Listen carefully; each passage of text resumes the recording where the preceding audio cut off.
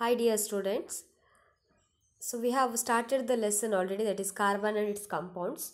Today let's discuss that same lesson that is part 2. So in the last class I gave one question as a homework, right?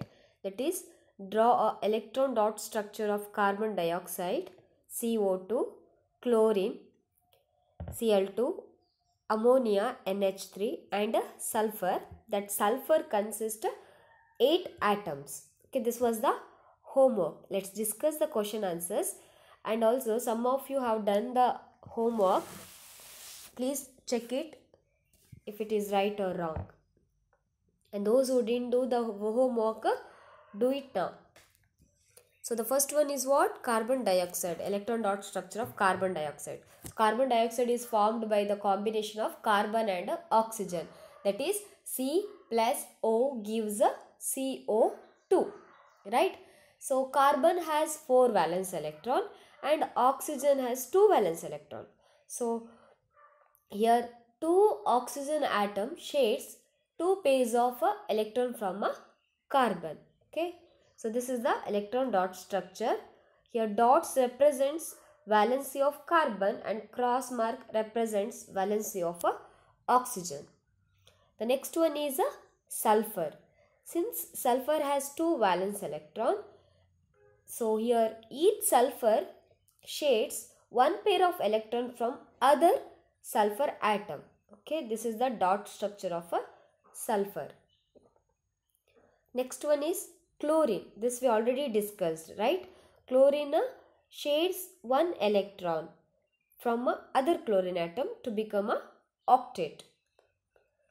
Then ammonia NH3. So nitrogen has three valence electron and these three valence electron it uh, combines with the three hydrogen atoms to form a octet stable. So this was about the homework. So we have already discussed about what is covalent bond.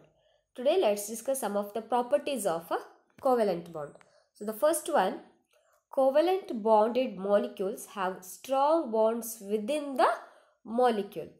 So in ionic bond we have learned that there will be a strong bond between two molecules. Here molecules have strong bonds within the same molecule. Then they have small intermolecular force and they have low melting and boiling points.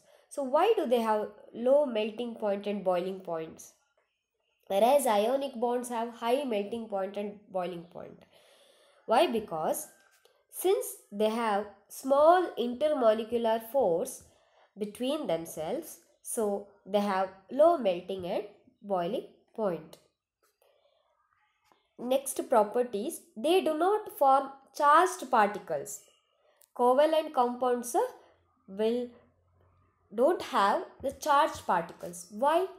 Whereas ionic bonds will get the charged particles. For example, sodium chloride. When they combine, sodium becomes positively charged ion, chlorine becomes negatively charged ions. Why they don't have charged particles? Because in covalent bond, the electrons are shared between atoms. Okay, here the electrons are shared. Whereas in ionic bond, there will be a complete transfer of electrons takes place. Okay, that is the reason. That's why they do not have charged particles. Last properties, they are generally poor conductor of electricity. Okay, they are a bad conductor of electricity. Electricity. Why? Because there is no any charged particles present in the compound. So there is one more question. Why does carbon exist in large number of compounds? So he, compounds almost the many compounds in the earth they consist at least carbon atom. Why? Because the nature of the covalent bond enables carbon to form a large number of compounds. Okay, because of that property, it forms covalent bond with the any other element. So all the compounds consist of carbon atom.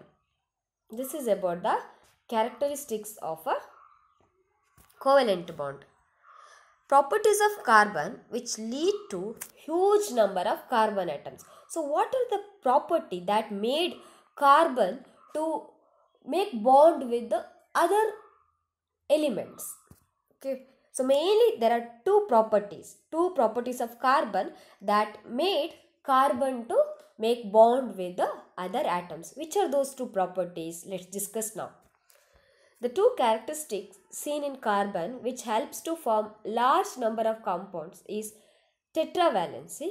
The next is catenation. Okay. So because of these two property, the carbon is able to form bond with other atoms.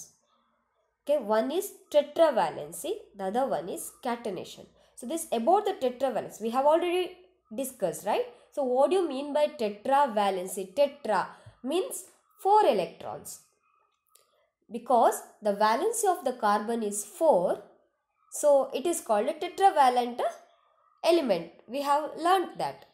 The second one is catenation. Now what do you mean by this catenation? Let's see now. So catenation, it is the unique ability of carbon to form bonds with the other atoms of a carbon. Okay that is only carbon has that ability. Means it can form bonds with the other atoms of carbon and as a result giving rise to large molecule okay and this property is called catenation. So even all individuals have unique ability your own talent right? Similarly this carbon also has this unique talent. Means ability to form bonds with other atoms of carbon either with the same carbon atom or with other atoms. Okay and this catenation is possessed by this carbon and silicon even silicon can also possess this property how is the catenation of silicon is different from that of carbon Yes, there is a difference between silicon and carbon. Even silicon has 4 valence electron. Okay. Silicon also comes in the same group, 14th group uh, in the periodic table. And silicon also has 4 valence electron. But it is, its catenation is different. Why? Because silicon forms compounds with the hydrogen which have chain of up to 7 or 8 atoms for that some restriction, limitations are there. Silicon atoms. Up to 8 they can form a bond with the hydrogen atom. But these compounds are very reactive. Whereas the catenation of carbon is very strong and stable. So here the silicon is formed bond with the hydrogen atom. In the first picture you see five silicon atoms are made bond with the hydrogen atom. And the second picture you see only two silicon. So this is restricted up to 8 okay? Maximum is a 8 silicon can make a bond with the hydrogen atom. But in a carbon there is no any limitations okay it can form bond with million millions of uh, atoms so why are carbon carbon bonds are very strong and stable because carbon is small in size. So this enables the nucleus to hold on to the shared pair of electrons uh, strongly. Okay. And the second property is what? Uh, tetravalency, right? So that was about the catenation. I hope that concept is understood. What is catenation? The next is what? tetravalence Since the valency of carbon is 4, it can form bonds with other carbon atom or with the atoms of other elements. For example, hydrogen. It can also form bond with the hydrogen, oxygen, nitrogen and halogen group. Halogens are chlorine, fluorine, etc. Here is a simple example is given. Carbon with the, the bond with the other elements other than carbon elements. Okay, this is about the properties of a carbon compound. So mainly the two properties of carbon compounds which are they tetravalency and catenation remember that and the definition of catenation okay so this is one more property of carbon only this carbon can form bond with other atoms either through a straight chain okay? Means in a single line. Or branched chain. In the branched chain one carbon is substituted below the carbon atom or above the carbon atom. That is called branched chain. Okay not in a straight chain. And the last one is closed chain. Means carbon also forms a bond with the cyclic form. Okay these are the different forms of a bond formation in a carbon atom. Okay and this is possible only in a carbon atom. So these are the properties of a carbon element. Okay now look at this compound. Here carbon is made bond with the hydrogen atom okay? And this compound is called methane. So what do we call these compounds? If the carbon the compound which consists carbon and hydrogen in it. What do we call those compounds? This is just an example i give methane is an example. Generally we call them as hydrocarbons. The name itself indicates hydrocarbons. These compounds consist only hydrogen and carbon. So what are hydrocarbons? Carbon compounds which contain carbon and hydrogen only are called hydrocarbons. Okay. Now let's see the classification of hydrocarbons. Mainly hydrocarbons means the compound which consists carbon and hydrogen are classified into two. They are open chain compounds and closed chain compounds. Then what are open chain compounds? Just now we discussed right? The straight chain.